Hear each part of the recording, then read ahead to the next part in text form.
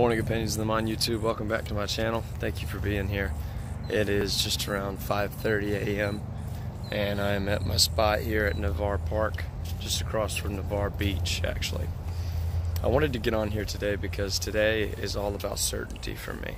I just took a trip to Atlanta that you probably seen on my last video and it really opened me up to a lot of newfound concepts that I've thought about before but I've never really known how to implement in my own life. Now, I'll be honest with you, a lot of the retreats I go to and a lot of the self development I do and a lot of the actual events that I attend, I'm not always sure that they're going to help. I'm not always sure that they're going to give me something like a nugget, if you will. If you're an entrepreneur, you know what I mean from that.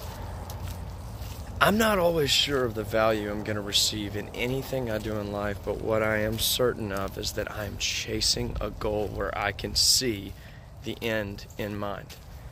See, the difference in people that are unsuccessful and people that are successful, in my opinion, is unsuccessful people have that perception of reality to where they can only see the sacrifices they make right now. They can only see the scarce life that they're afraid to lose right now and then successful people, we think about the end results. We think about the life we will have. We think about what it is we're trying to achieve, not what we're costing ourselves to get there. There are a lot of different ways that you can always prepare yourself to be in that mindset of success, but the best way to do it is to know where you want to go you have to know where you're going. We've went over this before in this channel, and you could hear this from many successful people that'll tell you the same. But the biggest part about today for me is certainty. It's certainty that I'm on the right track. I've had a couple different things in my path that have been variables of change. I've had a couple things that I wouldn't have wanted to happen, but it's all about the process, and I am certain that I'm head over heels for this process. I think that every single day that I wake up this early, every single day that I go and call people that I actually share my visions with, every single day that I make time to do this or make time to do things that really help me grow as a person are helping me more than anything in the long run because I have the end mind, end goal in my head. I have it right here. So today is about certainty. I know that even though everything is going on right now in my life, that I did not see coming. You know, my blueprints changed. I can tell you that it's all going to be worth it. I hope that I get to look back at this video one day and see just how worth it it becomes.